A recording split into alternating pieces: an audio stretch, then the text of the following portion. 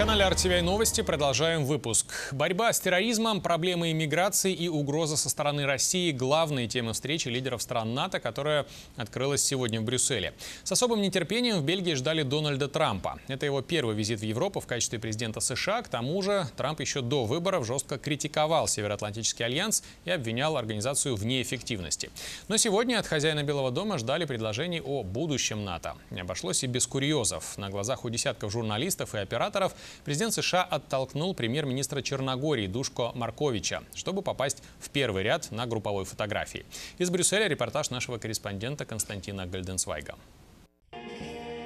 Лозунг «Когда мы едины, мы непобедимы» этим вечером получает наглядную иллюстрацию. Над Брюсселем в честь исторической встречи проносится авиация стран НАТО.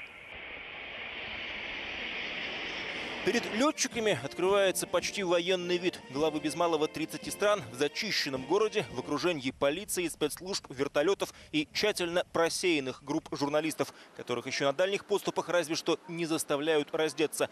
Марши несогласных на сегодня тоже отменяются. При таком уровне безопасности заглянуть за кулисы переговоров невозможно, но на сей раз и не нужно. Официально это Блиц-встреча, не саммит, а реально, скорее, смотрины. Смотрит за каждым жестом главного гостя, еще недавно называвшего военный альянс устаревшим, теперь же признающего необходимость НАТО. Это ведь именно страны альянса, говорит сегодня сам Трамп, пришли США на помощь после трагедии 11 сентября. Теперь к угрозе терроризма добавились новые, говорит президент, вспоминая впервые недобрые добрым словом Москву.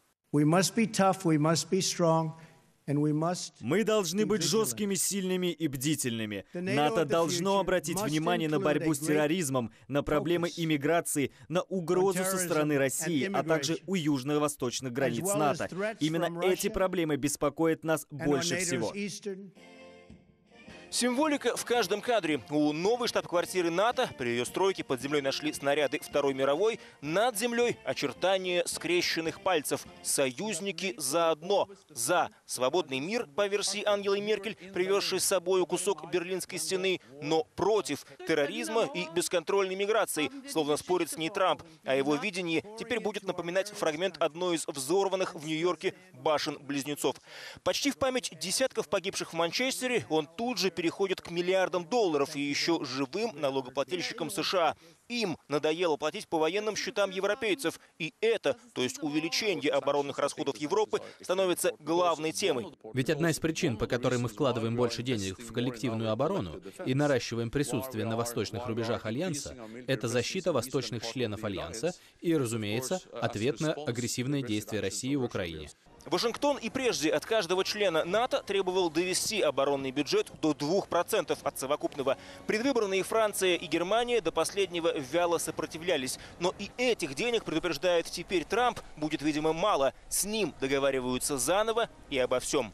Отныне каждая из стран-членов НАТО должна будет по итогам года предоставлять сюда, в брюссельскую штаб-квартиру, отчет о своем вкладе в общую оборону. Финансовом, сколько денег в общий котел вложили, техническом, что модернизировали, и военном, в каких боевых миссиях участвовали. О первой совместной уже договорились. Это будет Сирия.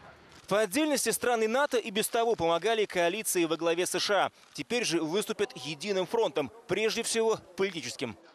Это в никакой э, смысле не означает, что НАТО будет участвовать в боевых операциях. Это вообще на поездке дня в никаком смысле не стоит и никакого даже такого предложения нет.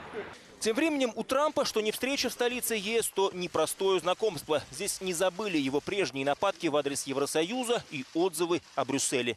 Я в Брюсселе был давно, лет 20 назад. Такой красивый город был, такой красивый. Но сейчас жить там все равно, что поселиться в какой-то адской дыре. Теперь для Трампа, признается он, большая честь быть здесь. Разрядить обстановку в адской дыре пытаются сначала бельгийский король на встрече с монаршей Читой Меланья и Дональд в который раз держатся порознь друг от друга. Потом Туск и Юнкер в шутливой форме объясняют новичку Трампу устройство Евросоюза. У вас в США один президент, у нас два. Трамп по итогам встречи улыбается, а вот два президента не очень. По моим ощущениям, у нас есть согласие по многим темам, и прежде всего в плане борьбы с терроризмом. Уверен, что не нужно объяснять почему. Но некоторые вопросы остаются открытыми. Вопросы климата, торговли. И я не уверен, что мы, то есть президент Трамп и я, на 100% можем утверждать сегодня, что представляем общую позицию по отношению к России.